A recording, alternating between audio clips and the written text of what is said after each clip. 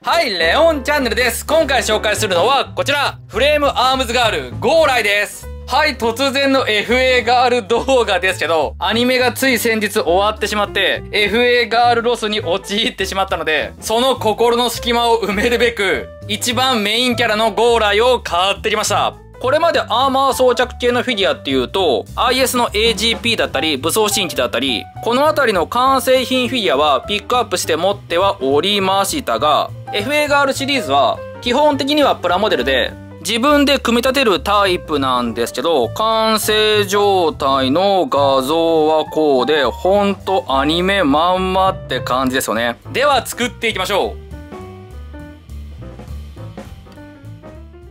ちなみに先ほどから映ってるこのキャラクターはウドラというもので、1880円で買ったソフビアイテムですが、FA ガール内のアニメ内でも登場したりとか、ことぶき屋の本社がある立川市の公認なり損ねキャラクターが元になってるそうです。ちょっと不気味さもありつつ、なかなか可愛いですよね。もちろんモチーフはウドだと思われます。はい、いきなりですが、作り始めて約1時間50分が経ちました。もうあとは組み立てて終わりというところまで来たんですけど、確かにお手軽。本体だけなら多分1時間ちょっとで終わって、付属品が20分くらいかかって、デカール針が切り取ってから水につけて、シールを剥がしてからペタッと本体に貼るって感じだったので、ちょっとそこが慣れない工程で30分くらいかかりました。なので、これ慣れてる人だったら1時間ちょっとぐらいで完成するかも。ほぼほぼパーツで色分けされてますから、制作難易度で言えば、HG ガンプラハイグレードぐらいお手軽かな。そしてゴーライ超いい感じ。で、腕のアーマーを差し込んで、左腕をセット。あと、ここに本当は1枚シールがあったんですけど、今貼ってる途中にどっか飛んでいってしまった。アーマーを差し込んだら、左腕をジョイントにセット。あと、ここの股関節部分のシール貼りも結構難しかったですね。定着するまでペロペロ剥がれちゃって。そして足のジョイント部分にはめ込んで、ブスッと。反対側も同じように差し込んで、左足のジョイントにナイフパーツと、右肩のここに背面キャノンを差し込んで角度調整すれば、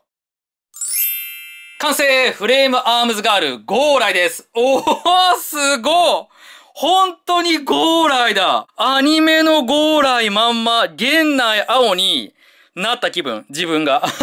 すごめっちゃよくできてる。というか、ちょっと僕勘違いしてたんですけど、素体のゴーライにアーマーを装着するんじゃなくて、もう最初からアーマー装着状態のゴーライを作るような形なんですね。なるほど、そうなんだ。てっきり素体を作ってからカチャカチャとアーマーを装着して、テレビ本編みたいな工程の作りかなと思ったら、作り終えたらすでにアーマー装着状態が出来上がっておりました。にしてもかっこいい。かわいいというかやっぱかっこいいっすね。全体をゆっくりぐるっと見回すとこうで、後ろ側、横、正面、ほとんど色の足りない部分ってないかな？この辺りぐらい？ちょっとグレーがないぐらいで、ほぼほぼ色分け OK。さらに上半身を近づいてみるとこうでアニメの CG へのイメージそのまんまって感じ。特に顔に関しては最初からプラスチックパーツにアイプリントが入っててこれが figma 並みに綺麗ですし左向き、右向き、正面顔とあって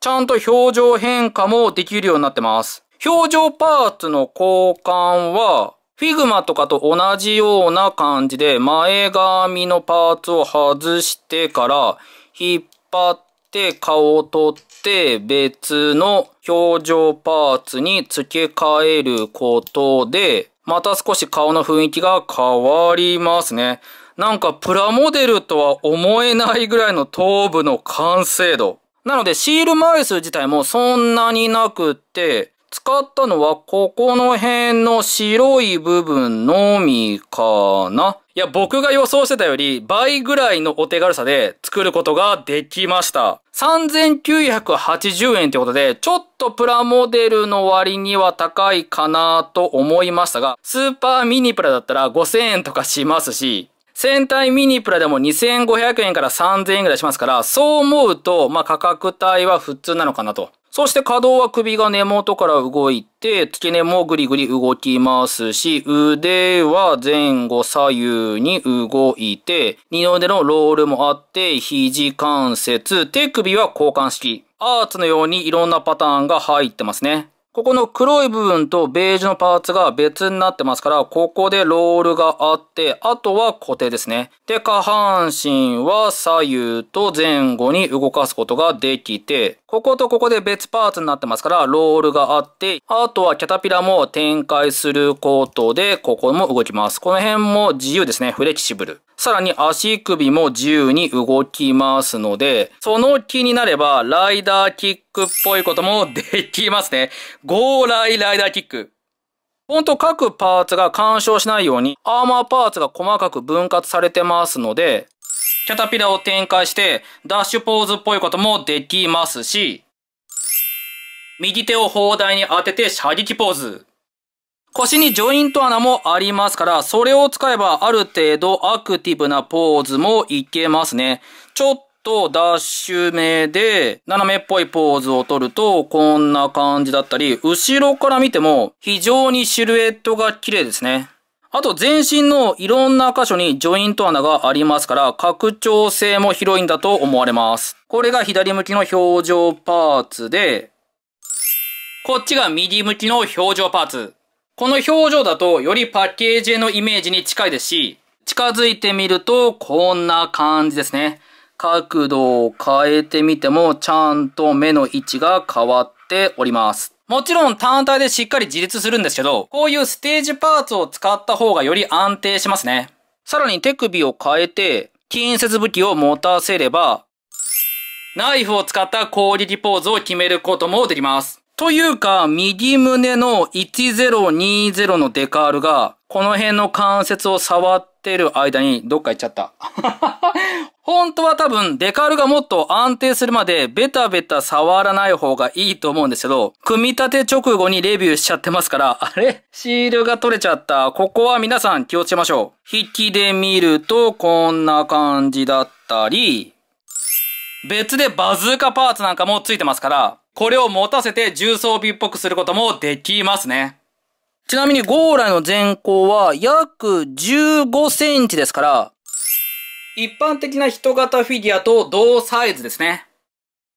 説明書は大きめのカラーのものが入ってて、表側、裏側で、中を開けると塗装のカラーナンバーとかも書いてあったりとか、ちょっと僕はアニメ組なので、元々のフレームアームズに詳しくないんですが、元のゴーライの見た目がこうで、確かにいろんなパーツを共有というか共通っぽいパーツで装着してるんですね。なるほど。あとは作り方になってて、見てわかる通り、そんなに細かいパーツには分かれてませんでしたね。さらに他のフレームアームズと武装を組み合わせて遊ぶことができますよと書いてあります。あと、パッケージへのゴーライはちょっと変わってて、この状態を再現するための専用パーツもちゃんと付属してて、これを付け替えることで、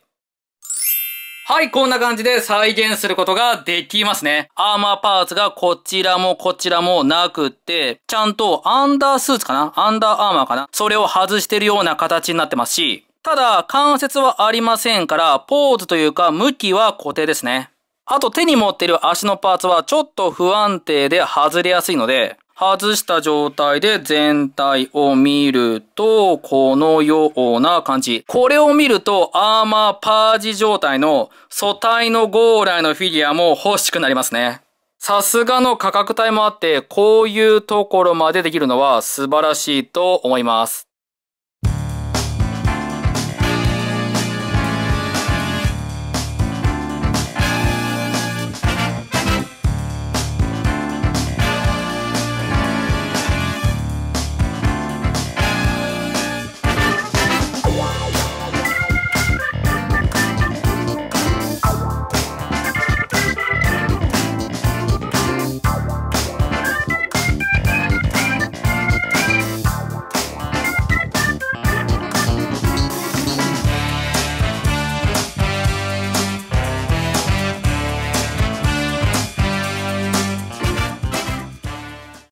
はい、ということで、フレームアームズガール、ゴーライを紹介しました。初 FA ガールということで、デカールの処理の仕方をいまいちちゃんと理解してなくて、ちょっと一部シールが剥がれてしまった箇所もありましたが、基本的にはパーツがそんなに多くなくて、すごい組みやすいキットでしたし、こういう完成品フィギュアと比べても、頭部パーツの形状とかほんとよくできてましたね。とりあえず僕は本編を最終回まで見て、青とゴーライとスティコとアーキテクト。この4人が非常にちょっとハマりましたので、追加で買おうかな。以上、ことぶきやフレームアームズガールゴーライの紹介でした。